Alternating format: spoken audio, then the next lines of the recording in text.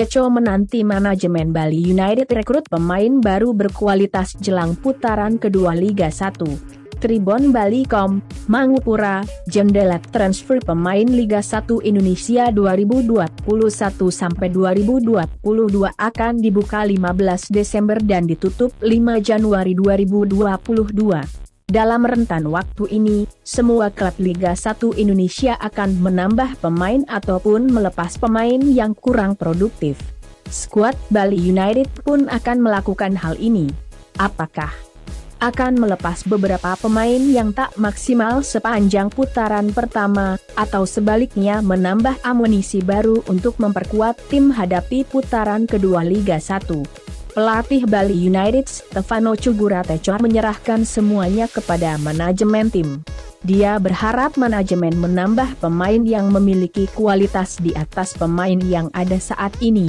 Kita tahu jendela transfer pemain akan dibuka saat itu kita tambah pemain yang berkualitas lebih dari yang kita punya bisa juga dilakukan.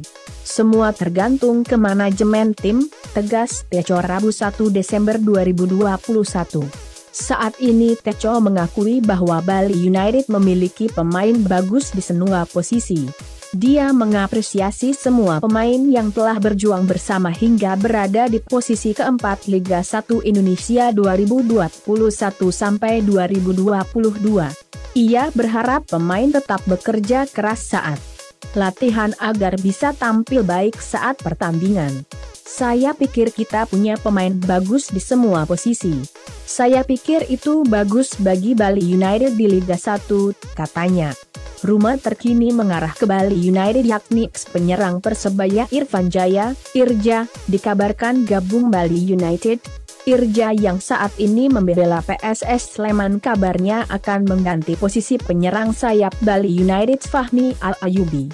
Selain itu, kabarnya sejumlah pemain Bali United dilirik tim lain, seperti Haryono, M. Taufik, dan Lerby Leandri. Sejumlah pemain ini dilirik sejumlah tim besar di Indonesia demi memperkuat kinerja tim hadapi putaran kedua Liga 1 Indonesia.